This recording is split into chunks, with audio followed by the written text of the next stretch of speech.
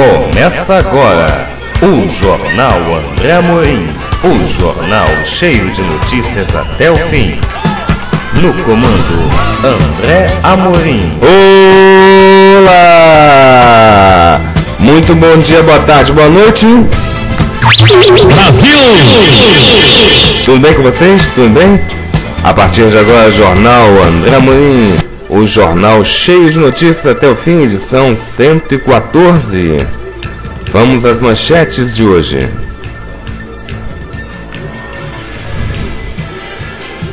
Grampos documentos comprometeriam Beija-Flor. Atirador mata 32 nos Estados Unidos. Mais 700 agentes federais serão usados para reforçar segurança. Aborto, venda até na internet. O jornal André Morim voltará em instantes para você após os anúncios. Jornal André Amorim. Oi, oi, oi, oi! Jornal cheio de notícias até o fim. Aê!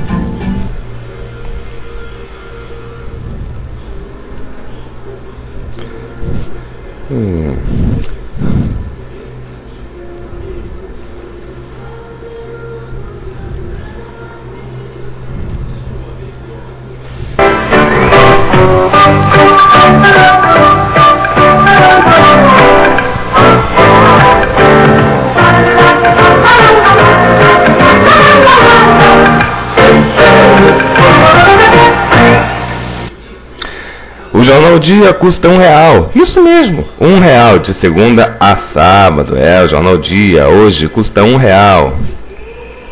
Muito bem, muito bem, muito bem. Promoção do Jornal Dia. Em parceria com a Drogaria Descontão. Uma caixa de presente com espaço para dedicatória. Promoção começa nesta quinta-feira. Promoção Dia das Mães, kit especial da Vene. Sabonete, creme para o rosto e hidratante para o corpo. Juntando quatro selos e pagando R$ 6,90, você receberá o primeiro kit. Ou melhor, você receberá um kit, quer dizer. O primeiro selo já vem na cartela. Outros detalhes desta promoção você vai saber no caderno O Dia D do seu jornal Dia. Muito bem, muito bem, muito bem. E amanhã, quatro figurinhas grátis. Mengão e Fogão no Desafio dos Campeões. É. Será que é a previsão da final do Campeonato Carioca? Eu não sei. Mas vamos lá. Ainda tem mais. Confie as ofertas nas Casas Bahia no seu jornal Dia. Confie as ofertas das Casas Bahia. Tem cada promoção nas Casas Bahia. É móvel, é computador, é, é sofá, é estofado, é, e é eletroeletrônico, é eletrodoméstico, é televisor, e por aí vai. Ah, é. Promoção camisa autografada do Obina. É, hoje é o seu número 3. É, juntando 7 seus e pagando R$ 8,90, você receberá a, a camisa autografada. Avisa lá que eu vou voltar. É o segundo modelo da camisa, tá, gente? Muito bem, muito bem, muito bem. Leia na página 5 do Jornal Dia a verdade dos trilhos oito anos depois. É o esclarecimento à população. Essa é uma campanha da Supervia. Supervia é, Supervia Trens Urbanos. Né? É uma companhia de trens urbanos é, do Rio de Janeiro. Mas com um detalhe, ela já já está privatizada há oito anos. Né? E, e, e é isso. Né?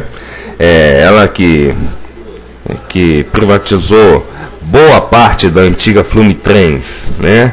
Hoje a Flumitrens é central. Né? aqui no Rio de Janeiro. Bom, vamos agora às notícias para você.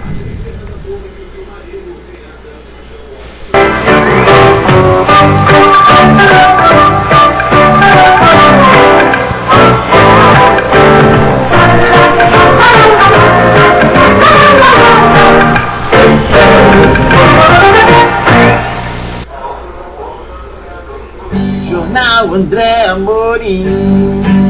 Oi, oi, oi, oi! Jornal cheio de notícias até o fim. Aê! E agora? E agora? E agora? Vamos às notícias. Ações do FGTS Vale renderam 17% no primeiro trimestre deste ano.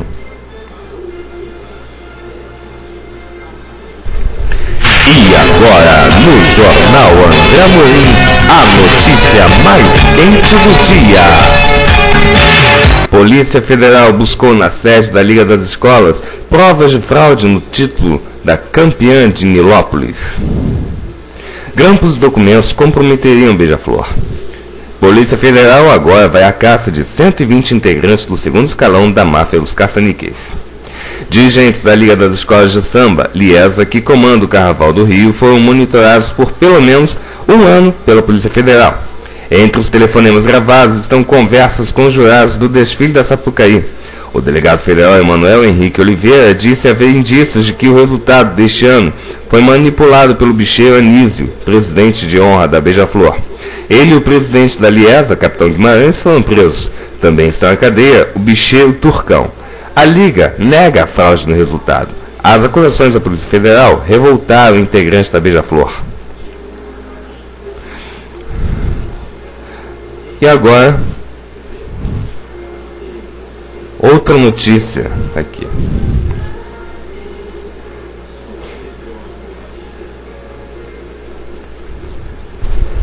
E agora, no Jornal André Amorim, a notícia mais quente do dia.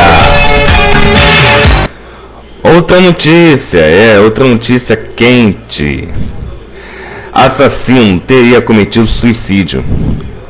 Policiais carregam vítimas de atirador solitário que atacou em dois prédios de uma universidade no estado da Virgínia. Atirador mata 32 nos Estados Unidos. Massacre em dois prédios de universidade na Virgínia também deixou 21 feridos. Primeiro ataque aconteceu às 7h15 da manhã e deixou duas pessoas mortas. Polícia foi chamada, mas não encontrou o matador. Mesmo assim, as aulas não foram suspensas. Depois de duas horas depois, ou melhor, menos de duas horas depois, em outro prédio do campus, o assassino voltou a atirar contra inocentes, executando 30 pessoas. Isso é que se chama de um serial killer. Né? Ninguém merece esse tipo de pessoa. De, há quem diga que depois ele tenha se suicidado, né? Bom, mas é uma coisa, viu? Pela madrugada.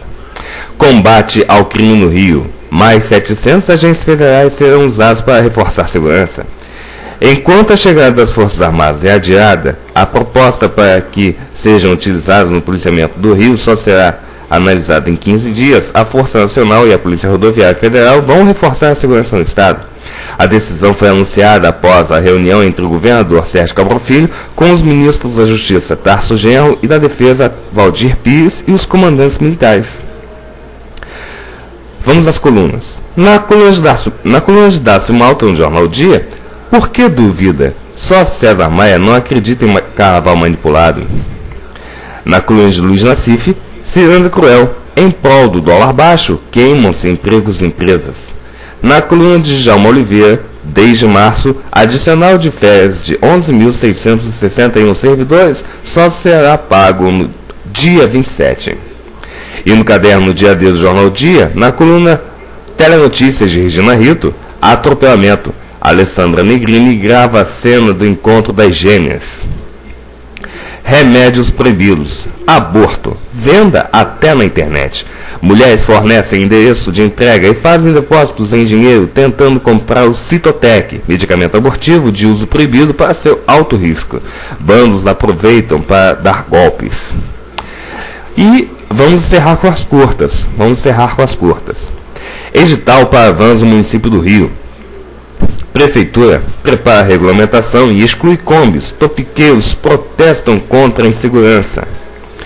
A segunda. Confira as respostas da prova da ANAC. Candidatos têm somente até amanhã para entrar com recursos contra o gabarito preliminar. E a última, das curtas do jornal André Marim, morre Maria Lenk, lenda da natação. Aos 92 anos, primeira brasileira a participar de Olimpíada passou mal após nadar no Flamengo. Esta notícia está no caderno ataque do Jornal Tia. Muito obrigado pela companhia e pela audiência. O Jornal André Morim, edição de hoje, terça-feira, dia 18 de, dia 17, quer dizer, dia 17 de abril de 2007, fica por aqui. Um super beijo para vocês, um forte abraço e até amanhã, se Deus quiser. Tchau, pessoal, a gente se vê por aqui. Fui! Fui!